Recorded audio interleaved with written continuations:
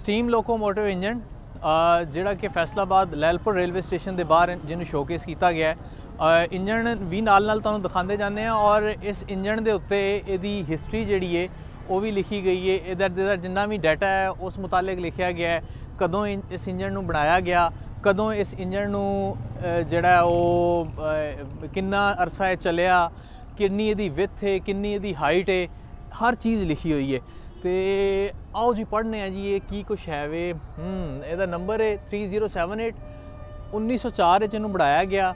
ਔਰ ਇਹਦੇ ਜਿਹੜੇ ਮੇਕਰ ਸਨ ਉਹ ਬੇਅਰ ਪੀਕਾਕ ਐਂਡ ਕੰਪਨੀ ਸੀ। ਔਰ ਜਿਹੜੀ ਇਹਦੀ ਫੋਰਸ ਹੈ, ਉਹ